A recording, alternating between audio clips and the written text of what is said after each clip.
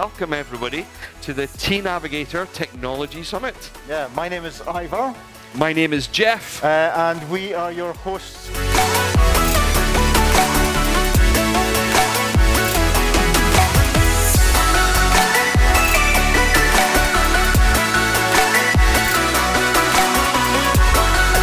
It's been a really great day hearing what other companies are doing with the software, what kind of options you have, and also to see that it's used so much more than just oil and gas. tNavigator is focusing a lot on the multiple this scenario and how to really model a lot of them at the same time, integrating it with the different uncertainties in, in uh, geology and also integrating it into network modeling. And I've seen very promising uh, material today. They really listen to what we need.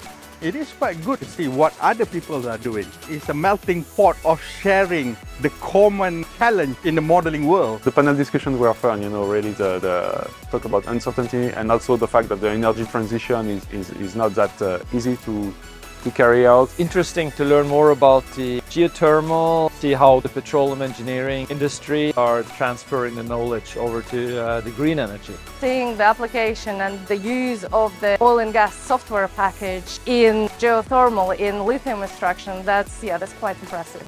It takes so much effort to build an environment, to build a user platform, team of people who like you, who accept you, who you know use technology.